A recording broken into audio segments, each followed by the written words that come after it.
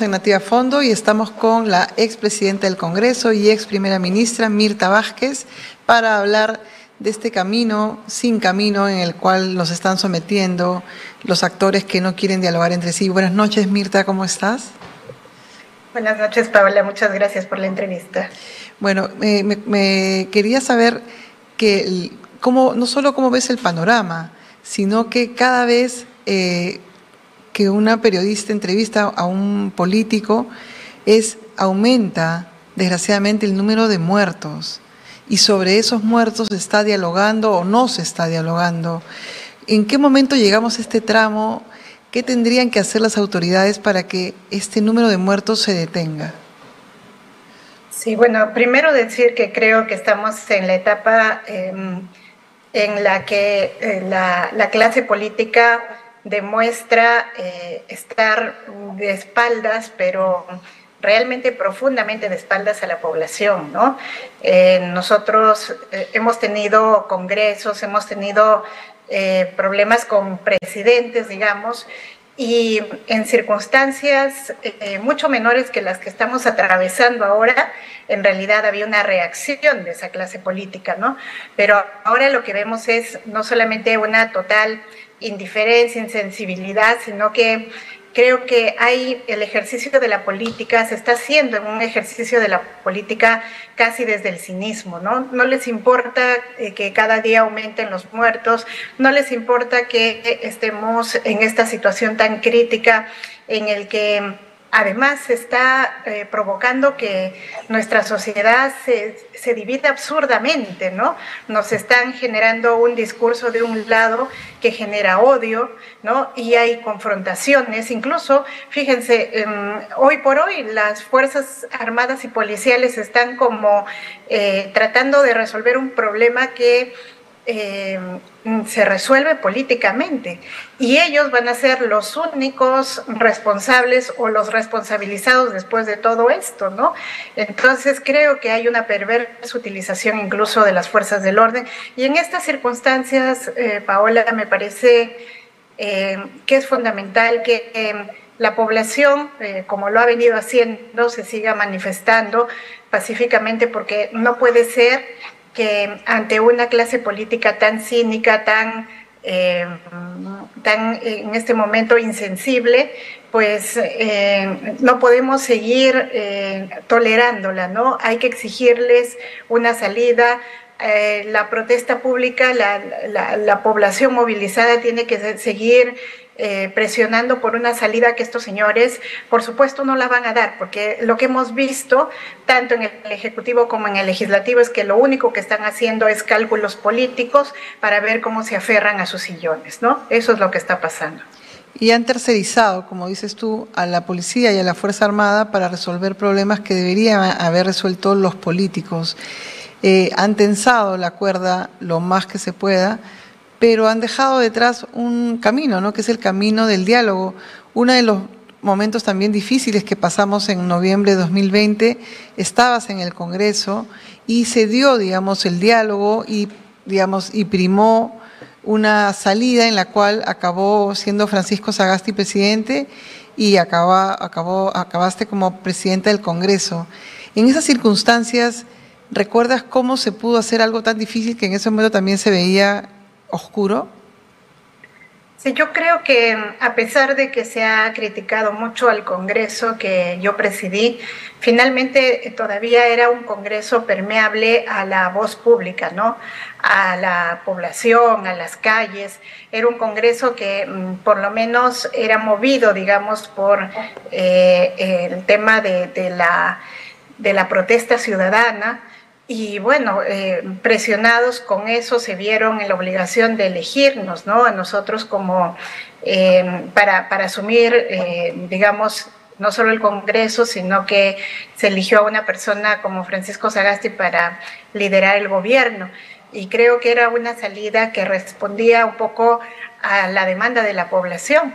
Pero lo que sucede ahora, lo que tenemos ahora es que es un Congreso que no quiere oír por nada esto, ¿no? Que de manera mm, descarada, digamos, ignora lo que está pasando en las calles y de manera descarada además nos dice con cada propuesta que no le importa el pueblo, ¿no? Entonces uno aquí se, se pregunta, ¿quién están representando estos señores?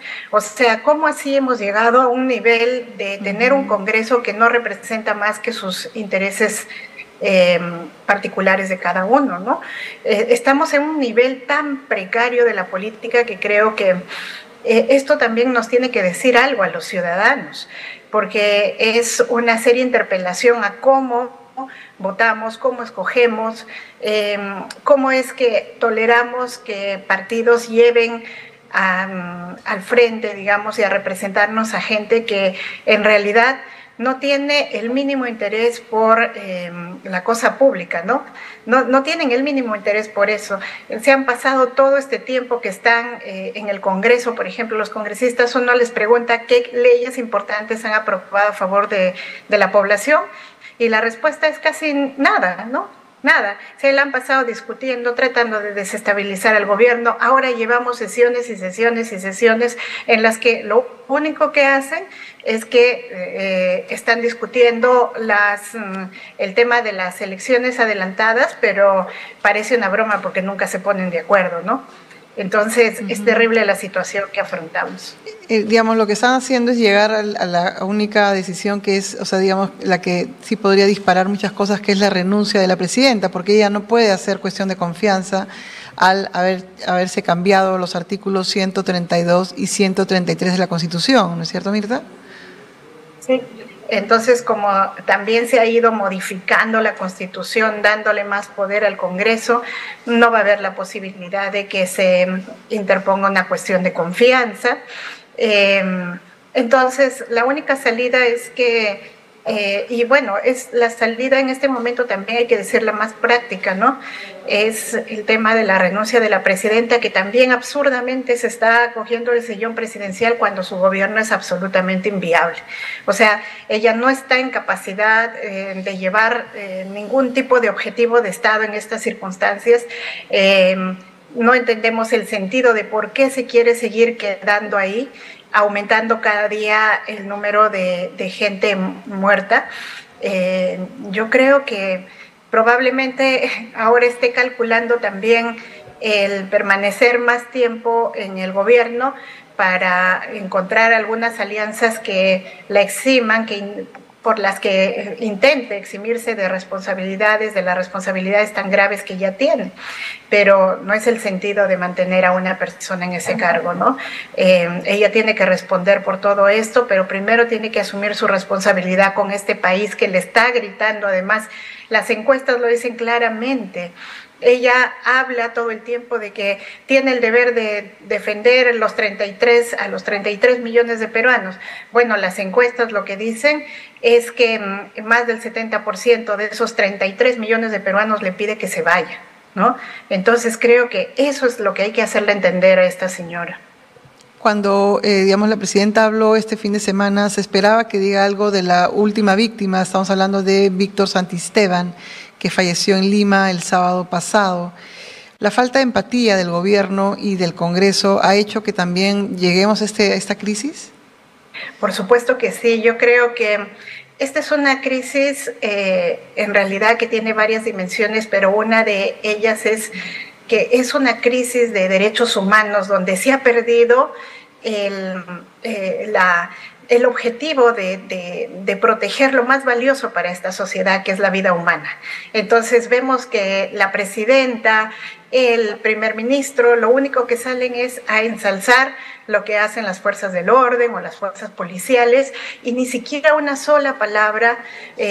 por ejemplo, en este último discurso me pareció insultante que la eh, señora presidenta salga como si los 33 millones de peruanos a los que ella hace alusión fuéramos ciegos y no hubiésemos visto cómo se produjo la muerte de Víctor Santisteban, por ejemplo. Entonces ella empieza su discurso diciendo, hemos visto cómo nuestra policía es atacada mansalva. Por favor, la policía acababa de ejecutar, y hay que decirlo con su nombre, porque realmente eso califica como ejecución extrajudicial lo que ha pasado con Víctor Santisteban. Y bueno, la presidenta eh, en realidad, mm, la verdad es que hasta em, impresiona, digamos, su nivel de frialdad con la que puede hablar de otras cosas e ignorar una cosa tan grave como la pérdida de una vida, además en estas circunstancias y bajo su responsabilidad, ¿no? La, la, eh, la expresidenta del Congreso y ex primera ministra Mirta Vázquez estuvo con nosotros